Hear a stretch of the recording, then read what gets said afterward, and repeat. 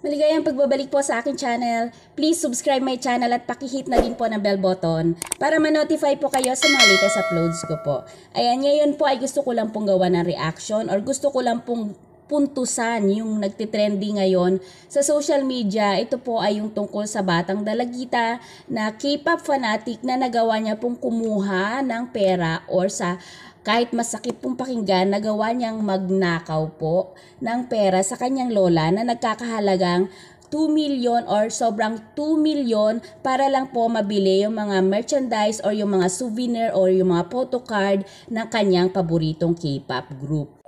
At alam niyo po ba guys, nakabilang sa pinakamahal niyang nabili na merchandise ay tatlong unlimited NCT photo card na nagkakahalaga lang naman ng 50,000 per peraso. So imagine niyo yun guys, yung tatlong NCT photo card na yon is nagkakahalaga na siya ng 150,000 pesos sa na napakalaking halaga na po yun para sa atin. Hindi na malaya ng batang ito na ang pagbili niya online ng pailan-ilang piraso ay magdudulot ng malaking problema sa kanyang pamilya. Kasi una muna bumibili siya ng pakonti-konti hanggang habang tumatagal, hindi na siya nakukontento sa binibili niyang yon. Gusto niya ng mas marami pa, yung mas, mas nakikita niya sa social media. Gusto niya, meron din siya noon. So, ayun, ang batang ito ay estudyante, pero yung lola niya ay nagtatrabaho or meron silang pwesto, yung lola niya ay may negosyo, may tindahan ito. Na doon lang talaga uh, kumukuha ng kabuhayan at doon kumukuha ng pampaaral sa kanya ang lola niya. Tapos ang ginagawa ng lola niya, siya na rin ang pinapagtinda or pinapagbantay ng tindahan na yon at pinasasahuran siya ng parang 350 yata per day. Pero yun nga, habang tumatagal, nawawala na ng pampuhunan yung lola nila at isang araw, na-discover ng tsahe ng batang ito na doon sa cabinet niya, meron silang nakita na mga photo, photo nga, yung mga souvenir nitong mga merchandise ng K-pop. Pero nagulat sila dahil hindi lang ito basta-basta na mga souvenir. Nagulat sila na sobrang dami nito. Tapos ingat na ingat pa. Talagang mga naka, nakasilyado pa yung mga souvenir na yon hindi makapaniwala yung lola ng bata na magagawa yun sa kanya na sarili niyang apo na pagnakawan siya ng halagang 2 million or sobrang 2 million para lang mabili yung mga merchandise ng paborito niyang K-pop group. Kaya naman yung bata ay lately na-realize din niya na maling-mali yung ginawa niya. Hindi niya akalain na gano'n na pala kalaki ang amount na naipapamili niya.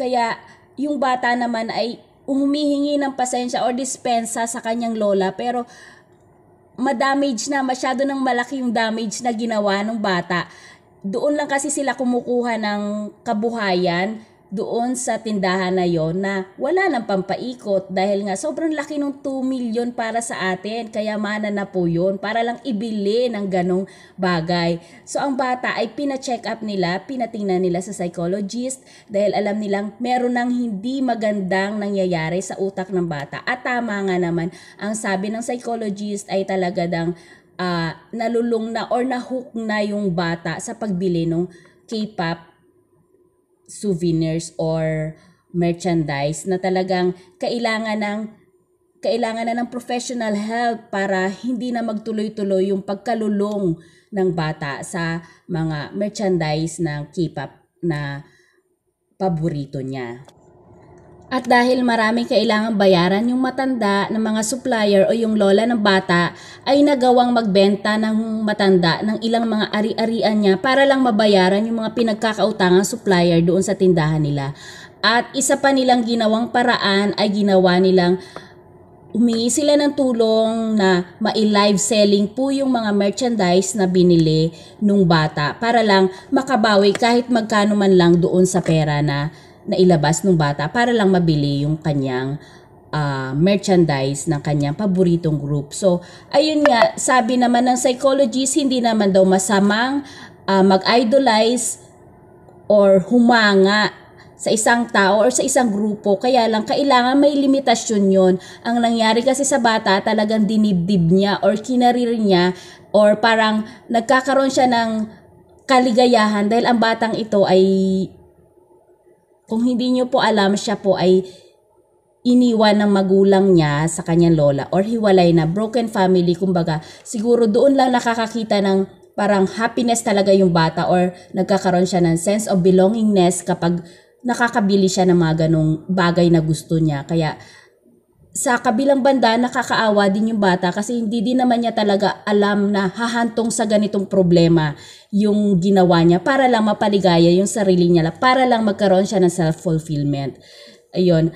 At ewan ko lang kung magkano yung nabenta nila ng live selling kasi parang nag-live selling sila pero talagang malaking malaking amount po or malaking danyos po yung nagawa ng batang ito. Uh, sana lang gumaling itong batang ito at makabangon po sila kasama po yung kanyang lola or kanyang pamilya at magbagong buhay na po sila. Ito lang po ang reaction ko or ito lang po ang punto na gusto ko pong i-point out dito sa nagtitrending sa social media na ang batang uh, K-pop fanatic na nagawang kumuha ng pera sa kanyang lola